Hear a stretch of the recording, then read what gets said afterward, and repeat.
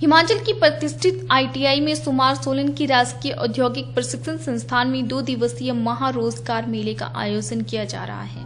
ये मेगा रोज़गार मेला तकनीकी शिक्षा निदेशालय हिमाचल प्रदेश के सहयोग से आयोजित किया गया। मेले का शुभारंभ उपायुक्त सोलन विनोद कुमार ने किया।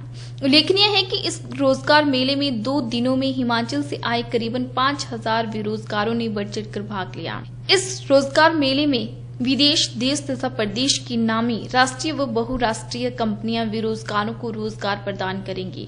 रोज़गार प्रदानता कंपनी आईटीआई की विभिन्न ट्रेडों, fitter turner machinist, electrician, motor mechanic, vehicle, electronic mechanic, digital mechanic welder carpenter wasting cosmetology COPA तथा अन्य इंजीनियरिंग ट्रेड में आईटीआई उत्तीर्ण युवाओं का चयन करेगी। इस मौके पर उपायुक्त सोलन विनोद कुमार ने कहा कि दो दिवसीय रोज़गार मेले में भारत और विदेश की नामी गिरामी करीबन 25 कंपनियाँ रोज़गार मेले में युवाओं का इंटरव्यू कर रही हैं, जिनमें करीबन 1200 युवाओं को रोज़गार मिलेगा। उन्होंने इंटरव्यू में पहुँचे युवाओं को शुभकामनाएँ दी, साथ ही आईटीआई के प्रधानाचार्य को ये निर्देश भी दिया कि इंटरव्यू के नाम पर युवाओं का किसी भी तरह से शोषण नहीं होना चाहिए। उन्होंने ये भी कहा कि पात्र युवाओं को रोज़गार मिले, ये सुनिश्चित हो, ये प्रयास रहना चाहिए।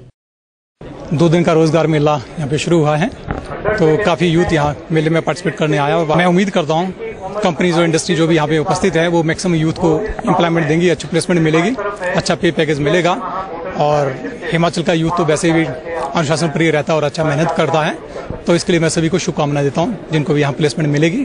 और ये अपना हिमाचल का हम नाम रोशन करेंगे पूरे देश में और विदेश में अभी जो कंपनी अबू धाबी से बाहर से आई हैं। स्पेशली मेरा प्रिंसिपल साहब से भी अनुरोध रहेगा और मैं इंडस्ट्री से भी आग्रह किया है अभी कि वो एक्सप्लाइटेशन ना हो किसी के ना? अच्छा आप ये पे वर्किंग कंडीशन अच्छी होनी चाहिए, शोषण ना हो इसका। और इंश्योर करवाएँगे इस चीज़ को।